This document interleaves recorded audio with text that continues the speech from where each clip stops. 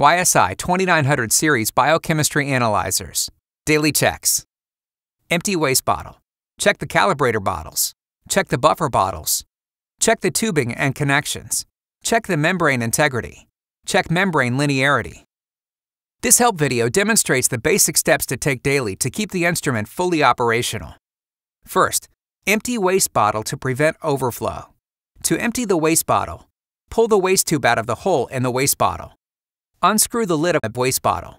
Remove the waste bottle from the tray. Dispose of the contents of the waste bottle appropriately.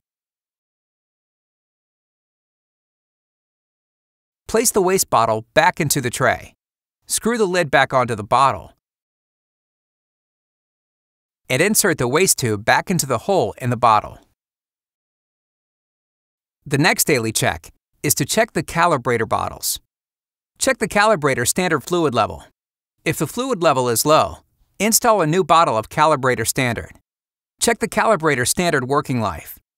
If standard is outside of the recommended working life, Install new bottle of calibrator standard. To install new calibrator bottle, unscrew and remove the lid from the old calibrator bottle. Mark the date of installation on the new bottle of calibrator standard. Place the new bottle of calibrator standard in the tray. Screw the lid and level sensor assembly onto the calibrator bottle. On the main screen of the instrument, touch the service icon, then the pumps tab. Turn the appropriate cal pump on for 90 seconds to prime and flush the cal system. The next daily check is to check the buffer bottles. Check the fluid level in the buffer bottles. If the fluid level is low, install a new bottle of buffer. Verify that the buffer has been in the instrument for 7 days or less. If the buffer is older than 7 days, install new bottle of buffer. To replace the YSI 2357 buffer, prepare buffer solution and make sure that all chemicals have completely dissolved. Unscrew and remove the lid from the old buffer bottle. Pour the freshly prepared buffer into the buffer bottle. Record the date of installation on the bottle of buffer. Place the bottle of buffer in the tray. Screw the lid and level sensor assembly back onto the buffer bottle. From the main screen of the instrument, select the service icon and then Pumps tab. Turn the appropriate buffer pump on for one minute to prime.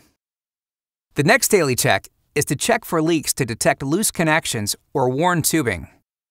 Visually inspect areas around tubing to confirm that there are no loose connections, leaks, or areas with worn tubing.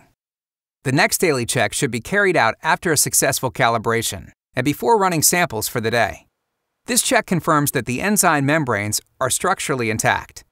To carry out this test, pour a small amount of YSI 2363 potassium ferrocyanide, FCN standard, in a test tube or multi-well plate. Place the sample at station 2. Run the sample. Values less than or equal to the FCN limits indicate structurally sound membranes.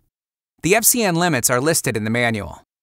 Values greater than the FCN limits indicate membrane structural failure. If readings are high, recalibrate and repeat all the steps above to confirm. Pour a small amount of linearity standard in a test tube or multi-well plate. Configure the instrument to use the chemistry required for the specific linearity solution. Run the sample. Membranes that are performing properly will have linearity standard readings that are plus or minus 5% of the specified tolerance limits. Values that are out of tolerance indicate an aging enzyme membrane.